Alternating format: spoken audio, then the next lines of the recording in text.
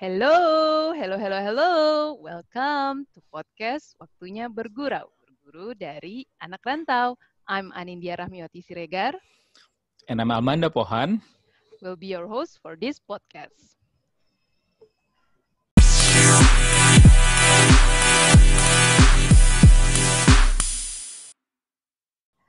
Oke, hai hai hai semuanya.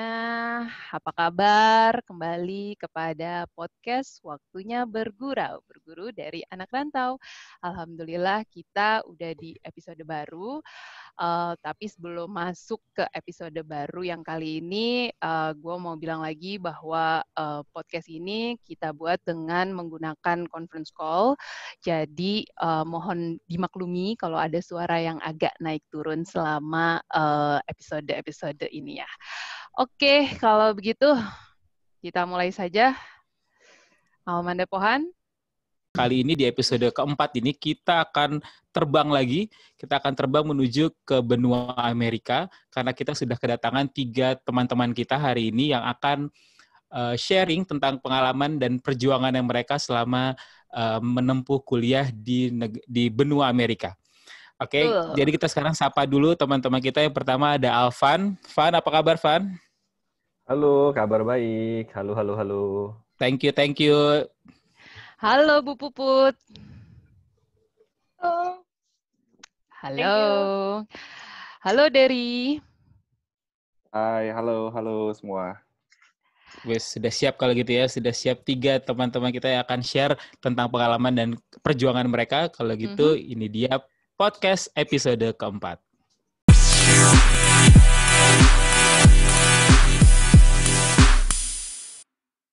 Mari kita langsung saja ke um, sharing-sharing aja. Jadi sebenarnya kan podcast ini juga namanya aja waktu yang bergurau kan. Jadi kita santai-santai aja ya guys.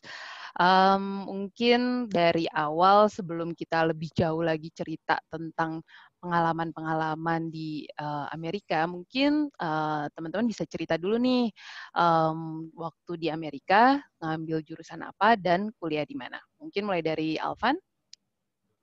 Halo, uh, dulu gue di US kuliah di uh, College of William and Mary, itu ada mm -hmm. di mm-hmm. Virginia, ngambilnya MBA waktu itu. Oke, okay, berarti lo di kotanya?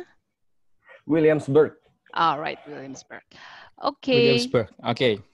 Kalau Derry gimana, Der? Uh, di Amerika di mana, Der, waktu itu, Der? Uh, kalau gue waktu di Amerika itu ambil S2-nya Master of systems engineering itu kayak kalau di Indonesia tuh industrial engineering gitu ya uh, ambil di Boston University kotanya di Boston state-nya Massachusetts gitu oke okay. uh, dan puput Uh, waktu itu gue ngambil di University of Michigan, Ann Arbor. Nama kotanya mm -hmm. Ann Arbor. Uh, mm -hmm. Ngambilnya MBA. Alright. Oke. Okay. Oke. Okay. Jadi jadi kayaknya kita sudah perkenalan. Jadi saatnya sekarang kita membuka pertanyaan-pertanyaan dari netizen-netizen yang sudah masuk ke kita yang pengen tahu lebih banyak soal uh, cerita-cerita kalian bertiga nih di sana sebenarnya apa. Karena podcast ini juga kita tujuannya adalah salah satunya untuk memberikan uh, insight-insight informasi kepada teman-teman bergurau yang saat ini sedang mempersiapkan ataupun yang sedang mm -hmm. mau berangkat nih untuk kuliahnya uh, di di Amerika mm -hmm. gitu. Jadi kita mulai saja ya pertanyaan pertama nih Nat untuk mm -hmm. Alvan kali ya. Uput aja ladies first. Oh, ladies first boleh deh. Oke, okay, siap. Alvan. Oh, enggak. Oh, jadi jadi tektok tektok nih. Kalau buat ketiganya deh, buat ketiganya deh biar biar rata, biar adil buat ketiganya aja deh. Mhm. Sebenarnya uh, untuk pertanyaan pertama nih, apa sih yang motivasi kalian uh, untuk memilih Amerika sebagai tempat melanjutkan sekolah dari uh, S1 ke S2? Karena S1-nya tuh di Indonesia ya kalau nggak salah ya. Betul, kita tuh semua uh. satu alma mater. Kebetulan oh, kita okay. semua satu alma mater. Oh, jadi semua satu alma mater di Bandung Yo. dan langsung lanjut S2 di Amerika. Apa sih sebenarnya motivasi kalian untuk uh, pindah ke Amerika atau ngelanjutin sekolah di Amerika gitu? Ya udah alfabet dari mulai dari Alvan. Eh. eh. Oh, Alvan dulu. Gue ya, um, Oke, mungkin gue dulu awalnya karena pernah ada kuliah, gue lupa kuliah apa ya waktu tingkat 4 itu yang ngundang Pak Hasnul, ingat nggak ya nama mata kuliahnya? Oh, Oh, ada Tapi ya. nama Puput kayak pernah datang deh, ada deh. Kapita Selekta. Kapita Selekta. Kapita Selekta. Ah, Luar biasa, masih hafal loh. Ya, in- intinya Jadi intinya industri knowledge. Oh my god. Itu kayak udah berapa belas tahun yang lalu. Ya udah oke. Anyway, lanjut. betul. Oke, jadi waktu itu kan Pak Hasnul datang ya ke kelas kita. eh, Mm-mm. Terus waktu itu dia ngasih sharing lah, sharing eh, gimana tentang industri telco, gimana Mm. perjalanan hidup dia gitu ya. Dan dia cerita sih waktu itu kalau kita engineer habis itu apa kerja di corporate Hmm. itu harus ngerti bisnis kata dia. Kalau misalnya emang kita mau naik sampai top level manajemen. Hmm. Nah, jadi waktu itu dia juga kan MBA-nya waktu itu di US ya, di Hawaii Hmm. kalau nggak salah.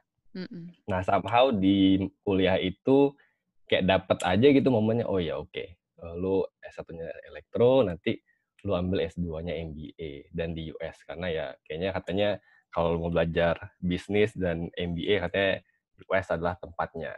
Hmm. Mungkin itu sih gue awalnya Oke. kenapa milih ke US. Oke. Ya. Itu Lanjut. Pak Hasnul tuh Pak Hasnul Suhaimi ex CEO XL ya by the way. Oh iya, Yes, betul, buat yang betul. betul, betul, betul. Oh, Oke. Mentang-mentang semuanya Excel kok belum semuanya nyadar kali. Oh, ini alumni yang sama juga. Iya, betul. Kebetulan kita satu jurusan juga. Oke, kalau ya Puput, kenapa Put? Motivasinya milih Ah. Eh, sebenarnya justru gue nggak inten nggak ada intention awalnya gue ke US Oh, gitu. oke. Awalnya gue pengennya ya awalnya justru pengen ke UK. Kenapa? Karena Mhm. pengen pendek, cuma setahun doang gitu. Oh, oke. Berhubung eh, berhubung waktu itu S2-nya adalah mandat dari kantor, jadi gue juga tahu bahkan ada ikatan dinas, cariin pendek aja lah gitu. Hmm. Ah, tapi waktu gue audiensi sama eh, my supervisor gitu sama sama bos gue, dia bilang kayak ngapain lu ke sana? Lu ke US aja langsung kalau belajar bisnis. Toh di sana kan eh, core-nya kalau lu mau belajar bisnis gitu ya. Ya, mm. Jadi Hmm. dan dia bahkan sampai ngancem kalau lu nggak ke US, gue nggak kasih lu rekomendasi. Jadi Wow. jadi mungkin itu starting point-nya kenapa gue mulai explore uh, uh, US in specific buat uh, target sekolah gue gitu. Tapi lebih Hmm. awalnya ya kecelakaan juga sih. Tapi later on uh, after research gitu kayak understanding ngobrol-ngobrol juga sama alumni-alumninya Mm-mm. ya ternyata emang emang kalau misalnya kalau misalnya uh, lu mau uh, lebih banyak lebih lebih lebih fokus buat belajar eh, eh, bisnis specifically MBA itu Hmm. emang gelar atau atau kayak uh, degree yang di originating dari US juga anyway gitu jadi ya Hmm. oh why go any anyway any pre- uh, ke tempat lain kalau Hmm. kalau lu bisa ke US so ya udah Hmm. cobain aja dulu ke sana waktu itu Jadi namanya kecelakaan yang indah ya ceritanya ya. Ke US ini ya. oh Mantap. Ya. Mantap sekali. Ternyata kecelakaan tuh ada yang indah juga ternyata ya. Ada, ada. Jadinya pindah ke Amerika gitu. Iya, iya benar. Oke. asal gaya aja gitu loh gue bagus sih, iya bagus. Buat gaya bagus juga sih. Mm-mm, betul, betul. Oke. Lanjut dari Derry. Kenapa tuh Der Eh, milih Amerika? jawaban gue itu sebetulnya udah diambil puput tadi, tapi ya udahlah. Kecelakaan juga gitu. Jadi kecelakaan juga ya. Enggak, enggak. Ini Oh, perspektifnya beda dikit. Perspektifnya Hmm. beda dikit. Jadi Hmm. kalau Puput bilang asalnya mau ke UK itu sama. Mungkin UK itu karena memang durasinya pendek ya. Tapi Mm-mm. begitu dipikir-pikir gitu ya, wah kapan lagi kuliah, malah daripada pendek mendingan lebih lama. Mm-mm. Kalau UK Hmm. setahun, mendingan langsung US aja. Udah gitu, eh, orang mikir lagi gimana kalau Australia. Australia itu tanggung, terlalu deket gitu ya. Jadi Hmm. US itu eh, udah jauh, lama lagi. Jadi menurut gua, Kenapa lu malah pengen yang menarik jauh gitu kan? ya 22 tahun hidup di Bandung buat belajar gitu ya. Mm-mm. Eh, ya sama lah teman-teman juga gitu kali. Mm-mm. Terus ya kenapa nggak yang jauh sekalian buat uh, dapetin sesuatu yang benar-benar completely different gitu dan uh, menurut gue awalnya gue berpikir akan uh, apa namanya ya udah sekalian aja sekalian ini gitu ya dan ternyata Hmm. itu nggak akan nggak menyesal gitu bahwa apa yang selama gue dapet di S2 di US itu emang benar-benar a whole different experience lah. Mantap. Gitu deh. Oke. Okay. Kalau gitu kayaknya masing-masing udah punya alasannya sendiri ya, Da ya, buat pindah ke uh, eh, US gitu. Dan ya kita tahu lah ya kalau uh, flight ke sana aja lama banget tuh kan, kayak berapa jam? Bener. 24 jam ya, guys ya? Tapi kan kayak... kan tadi Derry milihnya itu, karena jauh ya, dia milihnya ke sana gitu. Bener, bener. Iya. iya. Udah Biar nggak banyak yang datang buat ngunjungin gitu. nah itu kan kayaknya, kayaknya alasan dia lebih ke alasannya deh. Udah panjang panjang. Terus kayak harga tiketnya mahal. Aduh kalau bayar sendiri tekor juga cuy gitu. oh kalian lanjut lagi nih tadi dari dari cerita yang tadi kan bahwa ini adalah uh, mungkin kali pertamanya berarti uh, keluar dari uh, Indonesia ya untuk untuk melanjutin hmm. kuliah ke Amerika.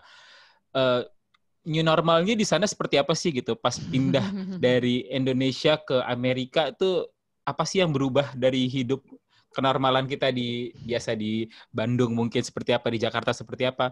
Tapi begitu pindah ke Amerika tuh banyak yang hal yang baru tuh salah satunya apa sih? Mungkin bisa cerita nggak sih? Salah satunya. Silakan mungkin Pak Alvan duluan boleh. Gua dulu ini lagi pada mikir ya ini lagi pada mikir Oke, gua mungkin apa ya? New normal gua mungkin ini sih dulu kayaknya gua uh, aduh apa sih namanya tuh? Take things for granted buat waktu sebenarnya. Waktu kalau di Indonesia ya. Uh, waktu itu kayaknya kita ya udah santai aja gitu kan. Cuma pas tinggal di US gitu kan terus kuliah kuliah MBA mm. itu kan kuliahnya padat banget ya kayak sehari itu lo bisa baca tiga case yang lo baca terus lo siapin buat materi buat besok dan di sisi lain, lu harus ngelondri pakaian lo sendiri, harus masak mm. sendiri, nyetrika sendiri, dan lain-lain mm. sendiri. Dan kalau lo mau masak, lo harus belanja. Kalau mau belanja makanan yang halal yeah. gitu ya, itu dari tempat gue tuh agak lumayan jauh lah, setengah jam lah. Mm, setengah okay. jam uh, buat beli daging halalnya ya, karena kan gue mm. kota kecil gitu ya, harus ke kota sebelah.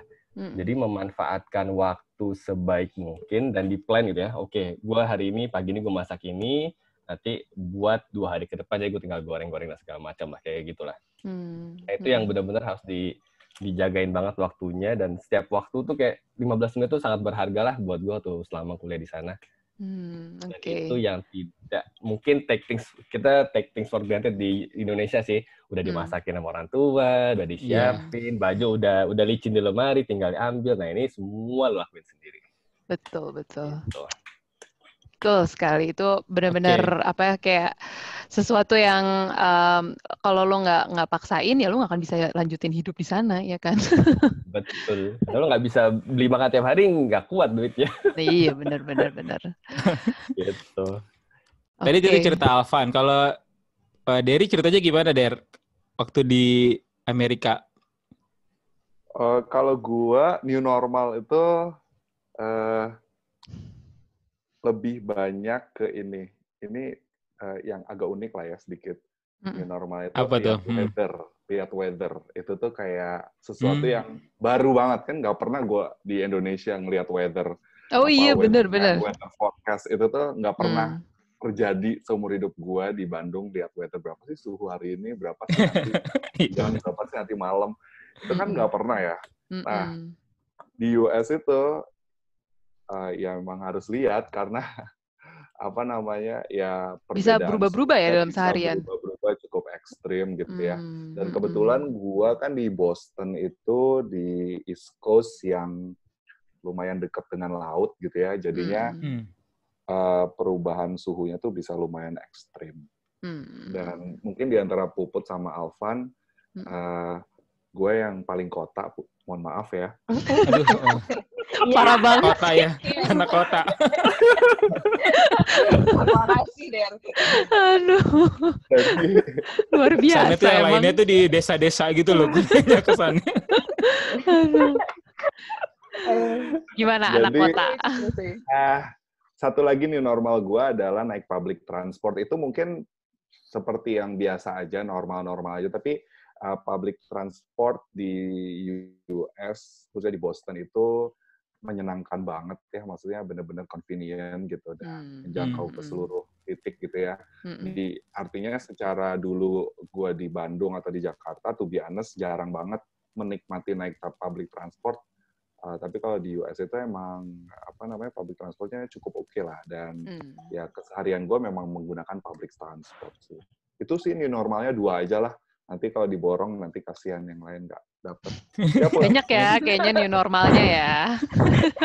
Tapi itu kayaknya karena Derry di kota besar ya Put ya. Ya itu dia. Makanya gue awalnya tadi bilangnya gitu, gue yang paling kota pun. Langsung ya. Aduh, alright. Oke. Berarti eh, mungkin ini akan nyambung ke eh, pertanyaan berikutnya gitu. Karena kan tadi udah ngebahas kota besar dan kota kecil dan eh, ternyata ngaruh ke transportnya juga. Eh, sebenarnya kalian tuh ketika milih universitas di US itu berdasarkan apa sih? Apa berdasarkan jurusannya atau berdasarkan kota atau enggak kotanya yang tadi dibahas sama Puput juga atau berdasarkan tuition fee mungkin kayak gitu bisa diceritain nggak sih ketika uh, milih-milih tuh tips and triknya apa nih buat um, teman-teman bergurau kita yang lagi ngedengerin mungkin dari Derry Oh oke. Eh, kalau milih university itu emang eh, apa namanya bisa buat carinya di list top rank gitu awalnya ya. Mm-mm, Soalnya kan eh, mungkin Alvan, gua sama Puput juga karena scholarship awardee Mm-mm. harus ada ada semacam list yang eh, harus dipilih dari situ. Tapi anyway dari list tersebut kan memang banyak yang bisa kita pilih. Terus kenapa gue pilih Boston? Ya karena menurut gua Boston, ya by research itu memang eh, di Massachusetts itu Mm-mm. ada MIT, ada Harvard, ada Boston University, Northeastern, dan ratusan university lainnya. Jadi kayak bener-bener ratusan di satu state Massachusetts itu. Uh, Hmm. dan gue pengen banget masuk Harvard MIT. Apa daya gue nggak bisa masuk situ. Ya Mm-mm. udah gue masuk Boston University aja. Uh, Oke. Tapi intinya gue melihat memang environment Massachusetts itu dan kota Mm-mm. Boston, Cambridge, kota-kota di dalam situ itu memang uh, student friendly banget. Bahkan student city lah ya. Jadi gue merasa di sana itu ya memang uh, tempatnya untuk belajar gitu loh. Dan uh, ya orang punya preference lain bisa juga untuk milih di New York atau di Hmm. Chicago atau Ya. di Virginia atau di mana pun itu kan very apa ya very personal lah ya. Mm-mm. Kalau buat gua karena datang ke sana buat belajar, gue pengen ada di lingkungan yang apa ya, yang Mendukung. driven by student lah. Yes, Mhm. gitu deh. Man. Mm-mm.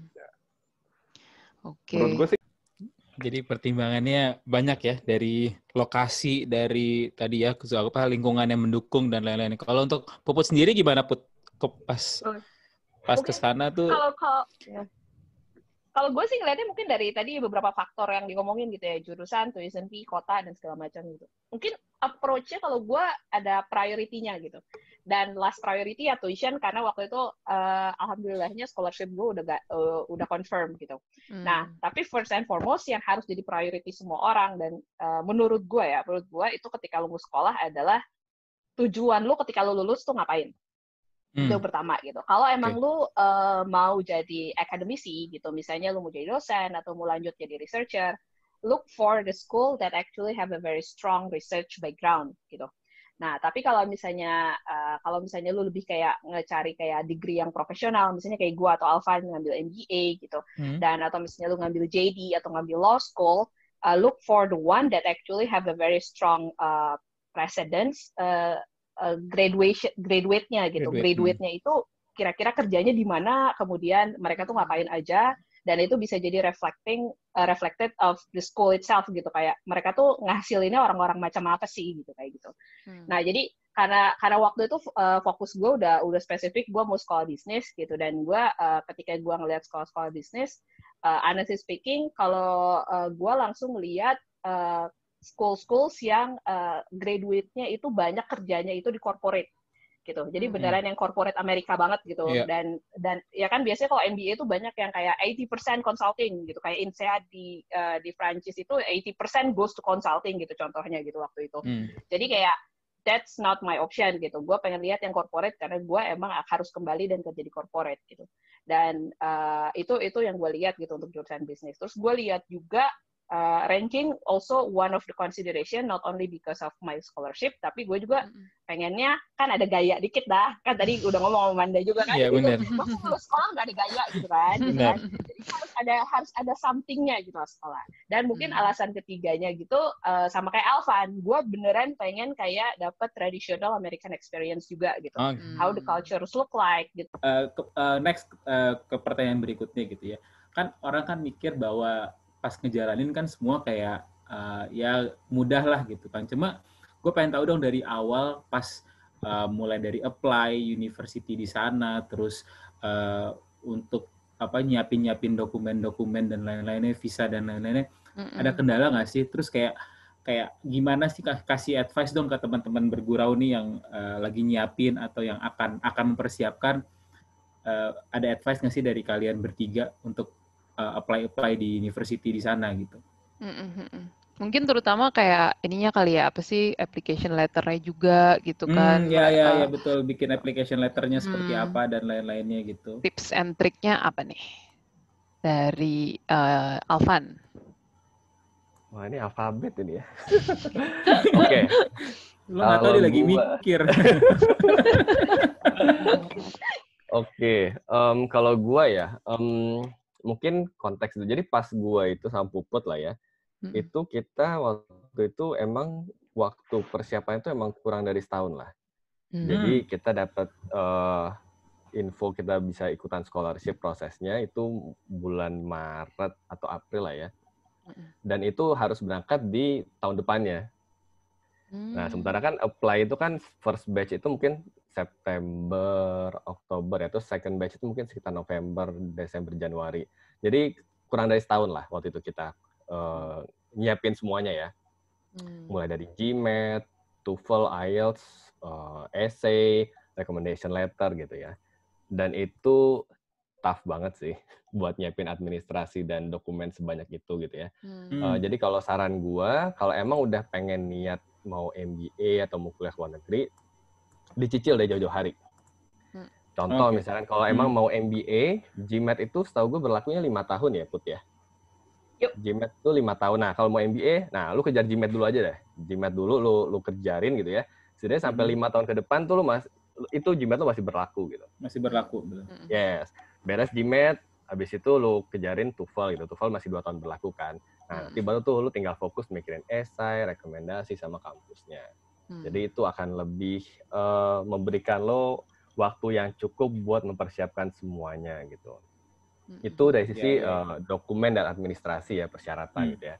Nah, yang kedua mungkin dalam hal mau memilih kampus, mungkin saran gua eh, desk research itu bagus gitu ya. Lo eh, research di websitenya, lo cek, lo baca-baca segala macam. Cuman buat dapetin feel-nya perlu ngobrol sama alumninya. Hmm. Hmm. Karena Oke. insight-insight tadi tuh kayak misalkan, eh, oh culture-nya di sana kayak gimana. Oh kalau misalkan di sana tuh bedanya apa sih kelas besar, kelas kecil, angkatan Itu lu langsung orang. ngontek aja gitu, cari misalnya eh, random di LinkedIn yang alumni sana atau lo kebetulan ada yang kenal juga alumni sana tuh gimana tuh, Van? Waktu itu kalau nggak salah ada yang kenal temennya temen, terus Mm-mm. kita kontak, kita ngobrol gitu. Oh ternyata dapat insight, oh jadi kalau MBA di US tuh kenapa orang memilih kampus yang berbeda, sizing berbeda, di kota berbeda tuh karena banyak faktornya. Kayak misalkan kalau Hmm. emang lu mau fokus di finance, oh mungkin lu mungkin di di New York gitu ya, atau Hmm. di di Wharton gitu. Oh kalau emang lu mau fokus di baik di entrepreneurship, oh mungkin di di Los Angeles gitu, Stanford, UC Hmm. Berkeley dan lain-lain gitu kan. Mm-mm. Nah itu yang harus lo lakukan. Jadi lo kontak alumninya atau lo kontak orang yang kenal atau mereka biasanya kalau mendekati bulan September itu sering ada meet up meet up sama alumninya. Oh iya iya. Oh, Kita biasa model. nge- Hmm. bikin kayak coffee session atau apa session gitu kan. Nah kalau Hmm. sekarang mungkin banyak yang online kali ya karena lagi covid. Nah itu lo Hmm. datengin deh, lo datengin. Nah di situ Hmm. yang lo bakal dapetin feel ini cocok atau enggak buat gua gitu. kampus itu. Tepat atau enggak? Hmm. Gue sih yang ngena banget sih di faktor itu sih waktu dapat ngobrol sama oh berarti gue tahu tuh oh jadi kalau milih MBA itu harus kayak gini loh. Hmm. Itu sih Eh, Oke. waktu itu mungkin dua hal itu sih eh, menurut gue yang butuh disiapin. Oke, nice tips banget, Van. Silakan Bu Oke. Put. Oke, eh, paling gue nambahin aja. I think first and foremost, American higher education itu udah sangat standardized. Itu yang harus eh, yang yang yang mau gue tekanin gitu. Jadi kayak how uh, how the application uh, application process is going, terus standardized test yang dibutuhkan itu tuh hampir standardized across the board gitu. Jadi sebenarnya ada beberapa poin yang kalau misalnya lu udah siapin early on itu bisa dipakai ke berbagai uh, university. Nah, Hmm. mungkin sedikit kalau misalnya gue agak berusaha structuralize sedikit, mungkin first and foremost seperti kata Dery bilang gitu, mulainya dari niat. Niat itu Hmm. maksudnya apa? Komitmen cuy gitu. Kayak Hmm. uh, the application process is actually not something that will be done in a month or two gitu.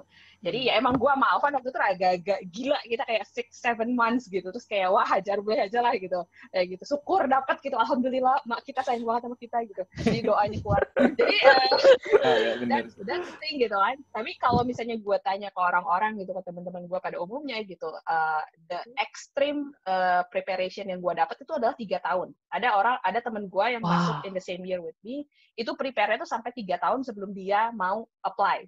Ada Luar juga yang biasa. kayak gue gitu, yang mepeters luar biasa gitu, itu six months gitu kan. Iya. Jadi komitmen komitmen itu akan menentukan seberapa kuat atau seberapa seberapa mau lo buat uh, spend your time, spend your money, spend your energy on the application process.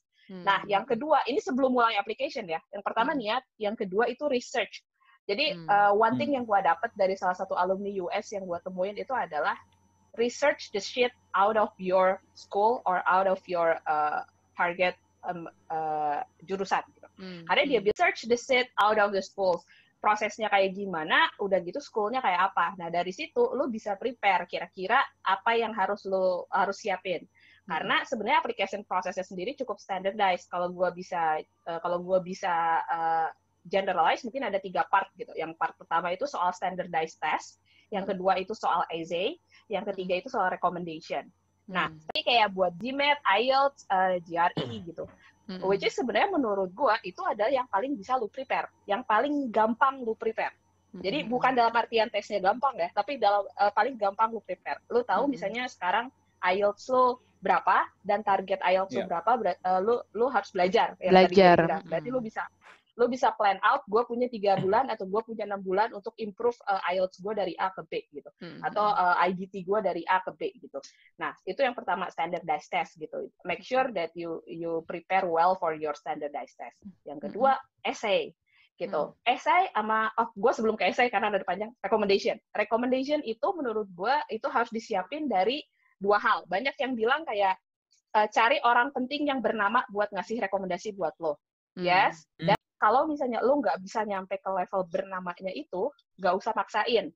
Lebih Hmm. better rekomendasi itu coming from someone that actually knows you the best. Whether Hmm. it's your supervisors, Supervisor. whether it's your Hmm. ya uh, apa sih? Apakah itu adalah pembimbing pembimbing TA lo gitu dulu, Assessment. atau misalnya pembimbing research lo dulu gitu. Uh, that kind of person is actually the one that can give better recommendation that someone with title or name that doesn't knows you gitu Hmm. itu sih. Nah, yang ketiga nih, ini yang paling tricky dan menurut gua biasanya orang Indonesia itu paling banyak hikapnya, essay. Hmm. Kenapa? Kita nggak pernah nulis umur umur cuy, gitu kan?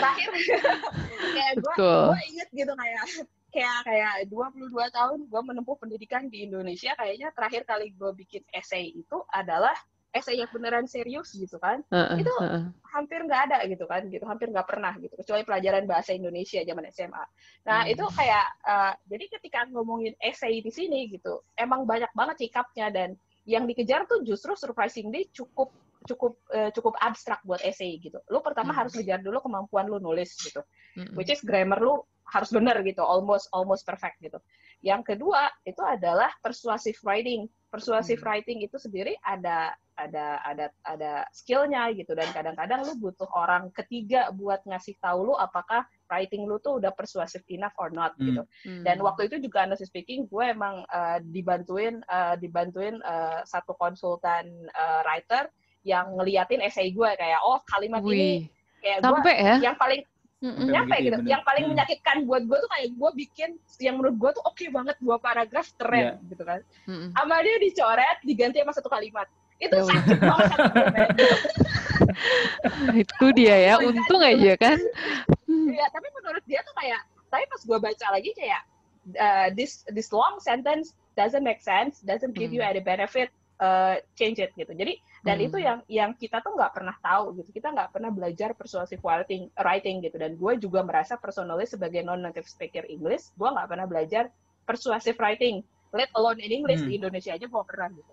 Nah dan poin yang yang tadi dari cerita bilang gitu, unique profile or unique story that only yours gitu. Berarti nyambung ke yang pertanyaan kita sebelumnya tadi kan udah salah satunya juga kan yang kayak tiga tiga juga bilang bahwa masak tuh jadi buat saving budget banget nih kan. Nah, gue jadi penasaran nih, apakah kalian tuh em, eh, nyari juga nggak sih eh, apa namanya restoran Indonesia di sana? gue penasaran aja sih, dan gue nggak tahu, gue nggak kebayang juga apakah di US itu banyak atau enggak restoran eh, Indonesia gitu. Mungkin kita mulai Indonesia dari ya. yang Hmm. di pinggiran-pinggiran dulu ya, tadi katanya ya, dari Alvan. Sebenarnya nggak Jadi pinggiran ngegeng juga ya sekarang jadi ngegeng pinggiran sama tengah kota. Ah, ya. ah, kayaknya ya. Poinnya ada- eh, kita mulai dari eh, Alvan barangkali. Kalau di kota Williamsburg itu ada nggak sih restoran Indonesia dan lu mencari nggak sih waktu itu? Oke, di Alvan sih pasti nyari kayaknya. Ah iya, lu nyari restoran Padang gua telepon rasanya kan. atau apa gitu kan. Ah, ah, Jadi di for William your information, di- Alvan itu Padang. Jadi gue yakin pasti dia nyari restoran Padang. jadi di Williamsburg itu orang Indonesia mungkin cuma mungkin 10 orang kali ya maksimal ya di Williamsburg. Iya. Jadi Oh. eh, anak MBA sama anak PhD fisika lah di Hmm. Williamsburg. Yang gua tahu mungkin cuma sekitar 10 orangan lah. Mm-mm. Eh, nggak ada restoran Indonesia di sana. Oh, Oke. Jadi setiap gua ke kota lain, terutama kota besar, Heeh. pasti yang gue cari adalah restoran Indonesia. Oh, eh Iya, emang Hmm. re- eh, kota kota terdekat dari lu tuh apa, Van? Yang lu bilang kota besar. Yang kota besar dekat dari gue mungkin Richmond kali, ibu kotanya Oh, Virginia oke, ya. Oke, oke, oke. Heeh. Di Nah, situ ada. Dari itu lewat- ada dari itu ada restoran Indonesia. Mm-mm. Di gue lupa, kayaknya enggak deh waktu itu gue nyari-nyari nggak nemu gue Oh. kayaknya. Terus ke mana? Bahkan dong? kota besarnya aja Andin nggak pernah dengar Richmond. Richmond. Betul, Richmond di Virginia. Nah, jadi kalau gue mau makan Indonesia tuh paling pas gue lagi ke Washington, pas gue lagi ketemu sama Rizly gitu ya, Mm-mm. atau pas gue ke ke New York sama Puput itu kita waktu itu hari pertama mendarat di New York, Heeh. ya, restoran pertama kita samperin adalah apa? Put Upi Jaya, makanan Betul. Padang. Tahu di- gak sih ya? Ini temen lu ini, temen lu ini gue lagi capek-capek, gue digusur sampai Queens cuman buat nyari restoran Padang. Itu Oh my udah aneh banget sih kalian. Orang tuh udah jauh-jauh ke New York Luar tuh pengen makan daerah apa ya, halal food gitu kan. Apa sih i- i- itu kan? Apa Halal sih? guys. Halal guys, kok gue jadi halal food sih ya Allah. halal guys juga iya, halal guys iya. Ya, Cuman itu juga cantik sih. Iya kan? Ah, gila deh. In, bayangkan ya, Aduh. gue gue di Jakarta tidak pernah masak. Terus gue harus masak di sana dengan rasa yang bisa gue tolerir. Jadi gue makan tuh ya karena gue butuh makan aja. Tapi rasanya ya rasa, ya mungkin gue yang bisa betul rasa masakan gue gitu kan. Jadi gue butuh rasa masakan Indonesia yang gue kangeni gitu. Oh my god, dan lo akhirnya menemukan di New York itu ada restoran Padang namanya apa? Upi Jaya. Jaya. Jaya. Oke, ya udah teman-teman bergurau yang mau ke New York dicari ya tuh Upi Jaya. Ya ampun, masa teman-temannya yang mau ke New York nyarinya Upi Jaya? Siapa ya, tahu. gua- gue plus one-nya Derry nih. Kalau bisa sih jangan ya, gitu kan. Kalau Padang di Indonesia jauh lebih enak pada Indonesia lah. Cuman ya karena Bapak Alvan Alfian ini agak beda dikit gitu ya. Gitu. By the way, that Upi Jaya itu walaupun restoran restorannya oke, makanannya uh, oke anyway, tapi itu jauh banget dari Manhattan. Jadi Oh kita my beneran God. harus Oh, kayak naik berapa kereta dan berapa bis gitu. Makanya gue masih dendam sama Alvan sampai sekarang. Oh Jadi ya, God. it's okay lah. Perjuangan banget ya buat makan Padang ya. Luar biasa, Alvan. Padangnya luar biasa deh. Emang, emang. Berarti kalau kalau di Michigan gimana, Put? Ada nggak restoran Indonesia Uh, di Ann Arbor? sejauh setahu yang sejauh yang gua tahu nggak ada dan emang gua nggak nyari gitu. Jadi Hmm, itu itu mungkin kalau gua. Jadi gue beda, uh, gue agak bedanya sama Alvin kayak gitu. Kalau gue Hmm. lidah gue nggak segitunya rese. Selama gue uh, ketemu ayam goreng, gue fine. Selama gue Alhamdulillah ya. dan ayam goreng, alhamdulillah gitu. Heeh, kan. heeh, heeh, heeh. Jadi uh, dan kalau gue lagi pengen ada yang spicy spicy dikit ya gue pergi ke Thai food lah gitu. Dan Thai food sih lebih lebih gampang Hmm. dicari lah di mana pun lo berada gitu. Jadi kalau gue nggak segitunya rese gitu. itu mungkin gue dari gue. Jadi gue nggak harus jauh-jauh ke Queens gitu. Gue cuma Mm-mm. nyari masakan Padang. Oke. Oke. Kalau dari anak metropolitan gimana nih? Kalau di Boston banyak restoran Indonesia. Hmm. Terus juga komunitas Indonesianya banyak. Jadi eh, somehow kayak banyak juga yang nyedia-nyediain catering gitu loh. Ah, yang mau masakan Indonesia. Jadi ada orang Enak Padang banget. yang yang iya yang kadang-kadang masak masakan Padang udah gitu di apa di blast di Facebook gitu ya atau di grup WhatsApp gitu-gitu di Hmm. Permias dan segala macam itu kayak nggak susah deh nyari makanan Indonesia mm-mm. Ah, yang yang bentuknya restoran ada beberapa gitu ya nggak Restoran kayak Padang gimana? Ada nggak? Siapa tahu ada nanti balik lagi ke jadi sana. nggak spesifik restoran Padang sih cuman kayak restoran Indonesia ada nasi Indonesia goreng ya. sate Oh, gitu-gitu Oke, oke. Heeh, terus sayur-sayur lodeh, sayur sop gitu-gitu. Jadi Hmm. eh, warteg lah ibaratnya. Eh, in a decent way. Terus kalau eh, ya itu yang misalnya yang eh, komunitas orang-orang Indonesia di sana yang bukan pelajar ya, maksudnya kayak eh, apa ya tinggal di sana udah lama tapi emang masih eh, misalnya nikah sama orang Amerika atau memang pindah ke sana dan segala macam itu eh, nggak nggak kesulitan sih kita nyari makanan yang rasanya rasa Indonesia Oke. gitu jadi kalau sorry to say kalau kota besar sih yang kayak gitu-gitu nggak jadi nggak jadi masalah itu namanya privilege Oh my god, anak metro. luar biasa nih podcast episode ini sudah terbentuk ya. Ada geng anak metropolitan dan tidak metropolitan. Luar biasa, luar biasa. Tapi tapi eh, dengan dengan cari makanan Indonesia ini salah satu eh, cara untuk eh, ngilangin homesick atau apa nggak sih? Kalau gue emang karena lidah gue pengen udah lama nggak menyentuh masakan Indonesia aja sih, terutama rendang dan lain-lain. Susah ya. lama, lama lama itu dalam durasi berapa lama sih kalau tersebut lama itu maksudnya tiap berapa bulan atau tiap berapa Setahun lama kayaknya sekali dia. Enggak ya? Setahun sekali. Jadi di gue kan di kota gue sama sekali nggak ada. Terus kalau Ah. misalkan gue mau banget tuh, gue bisa tuh pesan delivery tuh dari Pennsylvania lah. Ada Oh. eh, Philly tuh ada jauh yang banget ya. Berapa jam tuh Iya, dari Put. kota lo? Oh ngirim ngirim nin nggak nggak nggak gue ke sana. Ngirim Oh, tuh oke, mungkin oke, dua oke. hari Oh. gitu. Oh, Kan ngirim rendang dua hari. lama ya. Hah? Karena gue nyoba bikin rendang dua dua, hari. yes. Karena gue nyobain bikin rendang dua kali, dua kali dari jam 8 malam sampai tengah malam. Jadinya kayak semur nggak jadi rendang. Jadi gue kayak ah Ngakak. gitu. Alhamdulillah ya, sekarang dapetnya uni. Heeh. jadi dapat deh beres. Iya. Alphard. Ya, by the way, uh, additional information Pennsylvania sama sama uh, Williamsburg itu beda state ya. Jadi Oh itu udah God. antar kota antar provinsi. Segitu Jadi Ibarat buat gua tuh mesen rendang dari Padangnya langsung gitu ya, dari Sumatera Barat gitu kan. Jadi langsung harus pakai Kurang paket lebih paket. sejauh itu sih bener. heeh. Astagfirullah, luar biasa. Luar biasa nih, udah nih, udah udah keren banget. Tapi ada nggak sih, bung lagi ke barang kenangan dan lain-lain tadi ya gitu. Ada nggak sih eh, satu momen yang nggak mungkin lo lupakan selama lo tinggal di sana sih? Uz. Dari dulu deh, dari deh karena kan Gua ini ya. tentang keluarga kan, ini tentang Iya. keluarga kan, lo bawa keluarga ke sana. Mm-mm. Ada nggak sih Iya. unforgettable moment sama family yang yang yang nggak mungkin gue lupain nih sampai kapan pun pas kita lagi di sana gitu? road tripnya sih Hmm. Road trip. bareng keluarga itu menurut gua Eh lu road trip benar-benar ke mana? the best sih Road Eh, gue itu semua East, eh, East Coast itu dari Boston turun ke ke New York ya, Ah, terus oke. ke ke DC, habis Mm-mm. dari DC ke Pennsylvania, Pittsburgh, terus nggak sampai Chicago sih, terus eh, ke Buffalo, Niagara Wow. Falls gitu. Oke, Jadi baru Virginia dilewatin ya, Der ya. Virginia itu menurut gua kayaknya Atau numpang time. aja, numpang ini cari makan. Virginia itu udah ke cover sama apa ya kotanya? Gue juga lewat kok Vir- VA itu, tapi gue lupa deh apa. Tapi Hmm. DC lah ya udahlah lewat DC udah udah udah udah udah merasa lah gue ada mengunjungi Alvan. Nah eh, udah deh Eh, itu East Coast-nya. Terus ke Hmm. Midwest-nya itu gue di Arizona ya.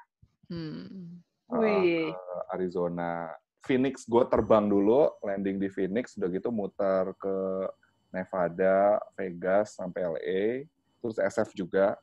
Terus pengennya ke Seattle, Washington State tapi nggak nggak dapet. Itu road trip itu nyetir, Hmm. bahwa itu tuh sesuatu yang ya ampun, oke banget lah eh, Mm-mm. buat Iya, buat iya. orang-orang yang berpikir bahwa uh, apa namanya bahwa keluarga ke US itu mahal emang mahal tapi in return lo akan dapat banyak banget uh, privilege juga sih privilege privilege sama ya. buat anak-anak lo iya Oke, oke. gitu Itu tadi cerita eh, tentang yang uh, bawa keluarga ke sana. Tapi kalau untuk Alvan sama Puput eh, gimana di sana? Yang single-single sih? nih, waktu itu sih Yes. lagi pada single. Eh, gue gak tahu si Alvan single apa enggak, karena dia emang Makanya siapa tahu ini unforgettable momennya kan ketemu siapa gitu, Iya, akan dapat apa, kan kita nggak tahu. heeh. Jadi belum belum cerita nih. Jadi betul Van betul. gimana Van? Kalau pas di sana gimana Van? Kenapa gue digituin sih? Aduh sedih. gua Itu doa loh, itu doa. Kan sekarang dia akhirnya udah udah menemui tambatannya, udah alhamdulillah lah. Oh iya, betul. Mm-mm. alhamdulillah. Kalau gue mungkin dua kali unforgettable moment gue. Mungkin yang Hmm. pertama tuh moment of truth gue ini sih merasakan kenikmatan belajar sih. Uh. Eh, itu yang mungkin gue Mantap. gue gue ngeliat gimana pendidikan itulah investment sebenarnya.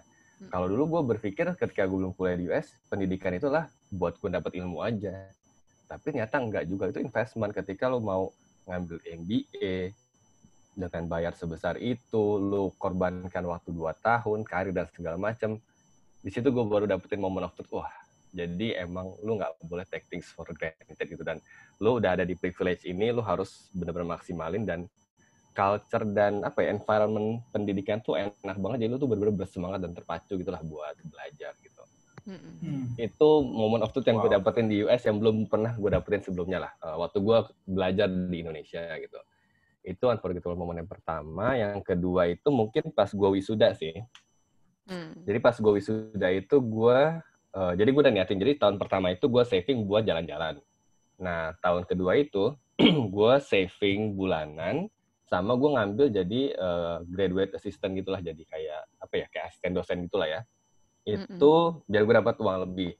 Dan emang gue niatin itu buat ngirim tiket buat bonyok gue ke US buat datang ke wisuda gue dan Hmm. akhirnya eh, bonyok bonyok gue datang ke wisuda keluarga gue juga yang lain datang dan akhirnya gue wisuda didampingi full tim keluarga gue dan itu kayaknya memorable banget sih buat gue dan ada waktu kita jalan-jalan habis wisuda kita kita ke New York dan itu eh, kita foto di scene yang sama 25 tahun yang lalu pas bokap gue yang scholarship. Oh, Oh, oh, bokap lu juga Jadi- sekolah di sana. Dulu bokap gue juga scholarship di US di Mississippi tapi. Ah, Jadi ada oke. scene ketika kita di New York waktu itu eh, Heeh. ya itu gue bandingin lah 25 tahun kemudian itu eh, ada foto gue di sana sama keluarga gue. Jadi kayak Ah, so 25 tahun yang nice. lalu Mm-mm. bonyok gue yang bawa gue ke US, nah sekarang gue yang bawa bonyok gue ke US. itu Luar kayaknya biasa. momen yang unforgettable sih. buat wow. Nah, jadi Mantap buat gue sih kalau buat teman-teman nanti yang ada scholarship gitu ya, Mm-mm. eh, kalau misalkan emang ada kesempatan buat saving, buat dapetin duit lebih, nah Mm-mm. mungkin buat ngirim tiket buat orang tua sana tuh eh, tak ternilai lah buat gue. Mantap.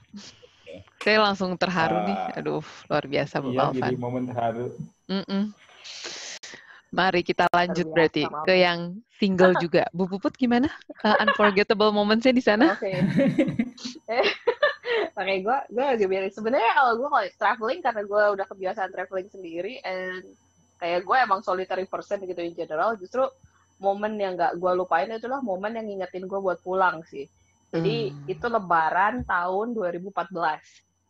Ya, gue inget banget itu Idul Fitri 2014 itu nggak libur kan di sana. It's not a public holiday. Jadi gue izin dulu ke profesor gue, gue bakal telat masuk kelas 45 menit karena gue mesti sholat id. Gitu. Hmm. Terus dia, oh ya, congratulations. Gue bilang kayak, this is not something to congratulate to, but ya yeah, it's okay. Gue bilang kayak gitu kan. Hmm. ya udah gitu kan. Terus gue gue pergi sholat id gitu. Gue pergi sholat id, gue balik, gue masuk ke kelas gitu kan. Uh, dan Hmm. waktu itu gue inget banget kelasnya itu uh, finance gitu, corporate finance, seboring itu Hmm. kelasnya gitu. Jadi Mm-mm. begitu begitu sholat id, gue instead of makan opor, gue masuk kelas gitu kerja corporate finance gitu.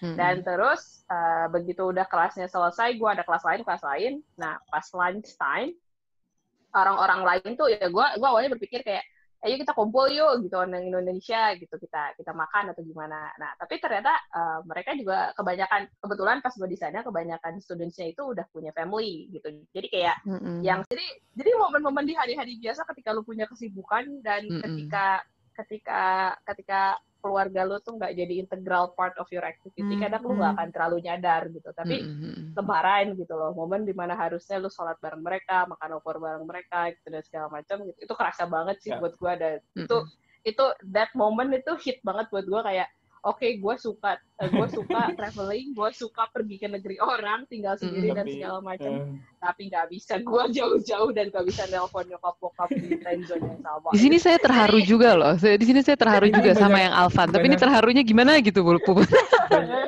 banyak momen haru ya di sini. ya. betul, betul, Iya. betul.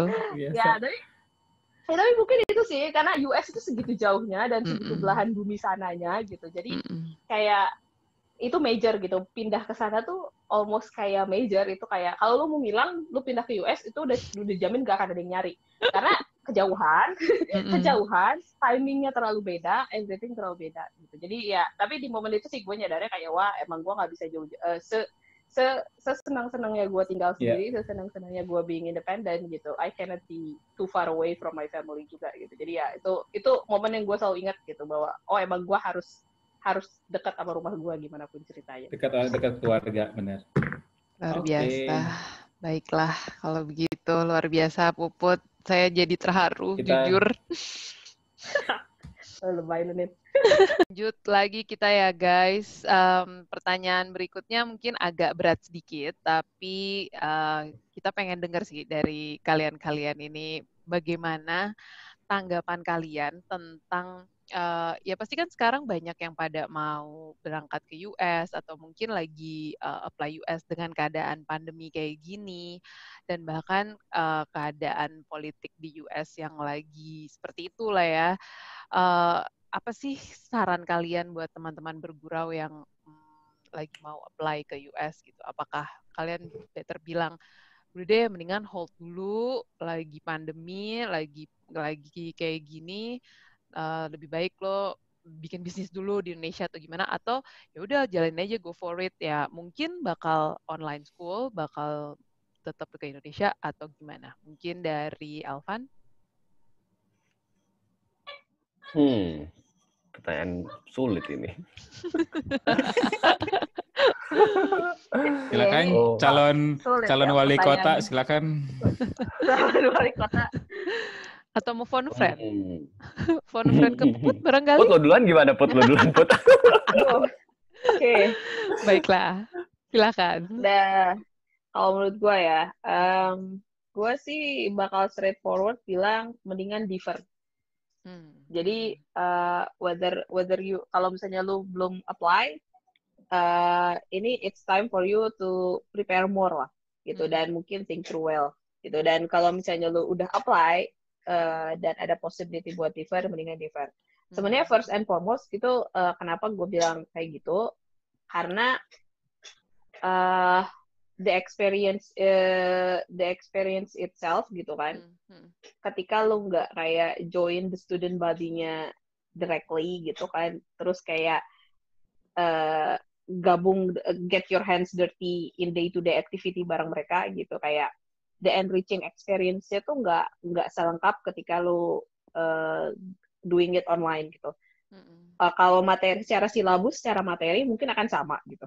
Tapi comparisonnya gue akan bilang kayak lu drop $50,000 a year buat online education, kenapa nggak lu go for Coursera MBA online aja gitu yang mungkin free. Gitu. Jadi kalau Hmm. lu cuman go-nya buat syllabus gitu. Dan honestly speaking, uh, fee-nya tuh setahu gua nggak nggak jadi lebih murah gara-gara lu ya taking it walaupun online. online Iya, school ya. Hmm, oke. betul. Yes. Jadi tuition fee-nya itu nggak jadi lebih murah gitu. And and it's it's so expensive gitu. It's fifty thousand dollar a year gitu. Jadi Hmm. uh, think through well aja gitu. Jadi menurut gue daripada daripada lu drop duitnya sekarang gitu untuk tuition fee dan lu dapat education yang online, uh, you cannot go there anyway gitu. Even though pemerintahnya mungkin ngebuka pintunya buat uh, traveling in gitu, tetap aja gitu itu kayak risikonya terlalu tinggi buat to go gitu. Jadi menurut gua kalau it's- eh, kalau lu udah keterima mendingan lu defer dulu. Kalau lu belum apply, lu bisa uh, have one more year to prepare gitu. Nah, itu. Itu mungkin Oke. kalau saran dari gua sih. Kalau dari Lah, Oke. coba kita dengar dari Alvan mungkin yang udah mikir dari tadi sudah mendapatkan Bener. ide. Eh, mau nanya kalau politik di US nih lebih ke mana ya konteksnya? Karena kan luas ya politik ya. Ya karena lagi mau pem- pemilu aja sih. Oh, pemilunya ya. Hmm, hmm, Oh, oke. hmm. Oke, mungkin yang soal pendidikan dulu ya. Buat gue ini sih, eh, buat gue tuh kalau kita mau ngejar cita-cita mungkin ya, pendidikan kan salah satunya gitu ya. Hmm, Eh, buat gue ada beberapa trade-off yang emang harus dipikirin. Nah, hmm, yang menurut gue masih oke tuh kayak misalkan, oh waktu hangout gue jadi berkurang banyak. Nah, buat gue, buat gue oke lah itu bisa gue trade-off gitu. Hmm. Waktu yang apa bisa jadi berkurang, oh waktu kerja gue jadi bertambah dan lain-lain. Nah, buat gue itu hal yang bisa gue trade-off sih. Hmm. Cuma kalau lagi pandemi gini kesehatan itu yang gue nggak bisa tawar sih. Kalau gue personally ya. Hmm. Jadi eh, buat gue faktor utama gue karena pandemi dan kesehatan nyawa. eh, buat gue itu no brainer. Gue bakal pending lah eh, Hmm. eh, Hmm. di saat kayak gini ya. Iya, itu yang iya. pertama dari sisi kesehatan dan pandemi. Dari sisi yang Mm. kedua dari sisi edukasinya 100% gue agree sama Puput. Lu nggak akan dapetin experience-nya Iya. Jadi lu kayak lu datang di sana, tubuh lu di sana, tapi lu cuma di apartemen. Hmm, hmm. Lu nggak berinteraksi secara day to day pendidikannya. Lu nggak berinteraksi ke culture dan orang-orang community di sana. Jadi lu nggak akan dapetin edu apa experience MBA di US-nya sih. Better ya udah lu Coursera aja kalau emang lu mau gitu ya. Hmm, hmm. Itu terkait yang uh, MBA-nya, terkait politik em, ya itu tergantung sih seperti kata Puput. Cuma kalau dari sisi gue sih sebenarnya gue pas kita mau lulus kemarin itu 2016 kan lagi hot-hotnya kampanye ya. Hmm, hmm, hmm. Somehow buat gue itu fun sih. Karena eh, orang ngomongin itu dan kita dengerinnya tuh di, di sana. Biasanya kan kita dengerin di Indonesia ya. Hmm, hmm. Nah ini dengerin di sana, terus teman gue ngejelasin Demokrat kayak gimana, Republikan tuh kayak gimana, Hmm. metodenya, terus dinamikanya tuh di sana baca berita di satu, menurut gue itu menyenangkan sih, karena experience yang baru buat gue. Uh, Hmm. somehow pas tramnya naik, kitanya udah cabut. Nah, cuma gue nggak tahu sih kondisi di sana gimana ya. Hmm, hmm, hmm, hmm. Ini kayaknya kita udah cukup panjang untuk uh, ngobrol kita di episode kali ini ya. Tapi Iya. Kita sudah kita kalau kita mau panjangin mungkin ya akan akan bisa jauh lebih panjang lagi. Tapi kita uh, sebagai penutup lah untuk uh, episode kali ini uh, menjelang ke HUT uh, kemerdekaan Republik Indonesia yang ke-75 nanti tanggal 17 Agustus. Uh, sedikit aja sih uh, pengen nanya ke kalian tentang uh, sebagai warga Indonesia yang ada di Amerika uh, seberapa kalian bangga sih sama Indonesia ketika uh, ada di sana, ada di Amerika. Bisa ceritain dikit nggak sih uh, untuk uh, dari uh, Alvan sama Puput? Mungkin dari siapa? Silakan, siapa? Supaya gua nggak dibilang alfabetikal lagi, kita mulai dari puput deh. Betul? Dari Puput. Hmm, Dikit aja, Put. sebangga Dikit aja, Put. Hmm, Ya, sebangga apa sebenarnya kalau gue bilang, eh, gue justru jauh lebih Indonesia ketika gue di sana daripada ketika gue di Indonesia. hmm. Karena gue jadi belajar dia. lagi. Gue gue jadi belajar lagi soal Indonesia. Karena banyak yang nanya soal Indonesia gitu. Indonesia tuh di mana? Indonesia tuh kayak gimana? Apa aja? Nah, Hmm, terus gue tuh baru nyadar gue nggak tahu apa-apa soal negara gue gitu. Itu malu banget gue. Hmm. Jadi justru gue jadi kayak belajar ulang dan akhirnya gue kayak sedikit banyak eh, bisa kayak founding my uh, my pride as Indonesian again gitu lah. Itulah yang bisa gue bilang gitu. Jadi oh ternyata gue nggak jelek-jelek amat ya. Oh ternyata negara gue oke banget ya kayak gitu lah. Jadi Hmm. jadi Hmm. itu lebih ke inward sih daripada outward gitu. Jadi efeknya kalau buat gue lebih ke personally ke diri gue sendiri daripada keluar. Oke, oke, oke. Oke. Itu luar biasa ya.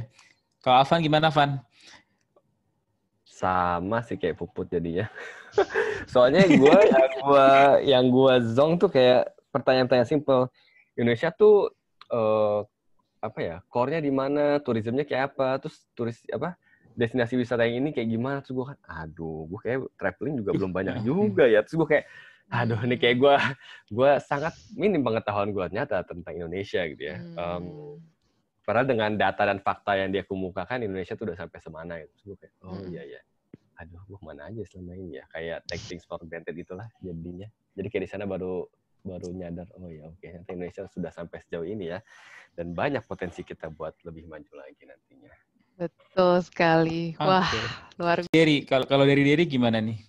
Oh, ada mirisnya sih sedikit di mana mm -hmm. kalau misalnya kita memperkenalkan diri dari Indonesia gitu ya, waktu mm -hmm. gue kuliah di sana, itu mm -hmm. emang hmm, orang agak tertegun sebentar gitu ya karena nggak hmm. langsung recognize oh Indonesia gitu. Hmm. oh jadi selama lo di sana gitu, selama lo di sana misalnya lo memperkenalkan diri, lo bilang di Indonesia, mereka kayak masih belum tahu gitu, tuh gimana?